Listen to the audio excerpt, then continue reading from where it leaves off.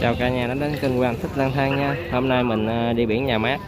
Mong cả nhà hãy à, đón xem và theo dõi mình nha. Rồi mời cả nhà cùng đi tham quan với Hoàng Thích Lang Thang nha.